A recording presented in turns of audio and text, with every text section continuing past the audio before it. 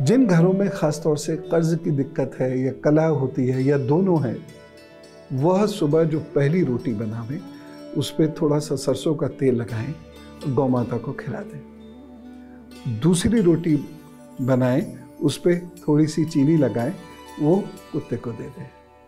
और तीसरी रोटी बनाएँ, उसको छोटा छोटा तोड़ें और छत पर उसको डाल दें, जिससे कि पक्षी आए और उसको खा ले वहीं जल की व्यवस्था कर दें जिस दिन ये आपके हाथ से अन्न ग्रहण करने लगे, गाय, कुत्ता और पक्षी, बस समझ लिए उसके बाद आपका कल्याण होना शुरू हो जाएगा।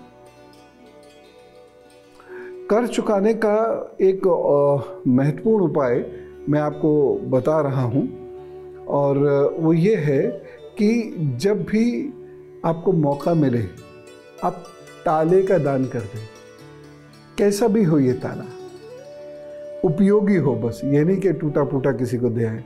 ये कृपा करके आप सभी लोग बड़ा ध्यान रखा कीजिए कि दान में हम कोई ऐसा आइटम नहीं देते हैं, जिसका उपयोग हो नहीं हो सकता हो। ठीक है ना? तो दान में चलाकी या सहन पट्टी मत की करना बिल्कुल कभी भी। या भगवान जी को चढ़ावे में नहीं है, मत चढ़ाओ। लेकिन सहन पट्टी वाला मत करना मुंबईया भाषा बोल रहा हूँ। ठीक है? अब तो थोड़ा ध्यान रखिएगा ये सब लोग।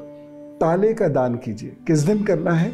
या शनिवार को कर सकते हैं या सोमवार को कर सकते हैं? तो ताला उपहार में दे सकते हैं। बड़े सुंदर सुंदर बढ़िया बढ़िया ताले आते हैं। ठीक है, किसी के घर में ताला लग सके, उसका इंतज़ाम कर सकते हैं।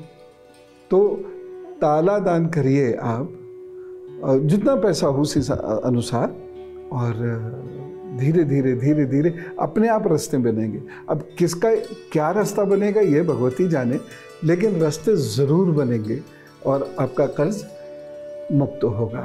आप फिर शान से जी सकेंगे, क्योंकि कर्ज, जो व्यक्ति हो, कर्ज में डूबा हुआ होता है, जिसे लोगों का कर्ज लौटाना होता है, वो स्वाभिमान से नहीं जी सकता। और जो स्वाभिमान से नहीं जी सकता, उसका जीना भी तो क्या जीना है? तो ये उपाय करिए, आप स्वाभिमान से जी पाएँगे।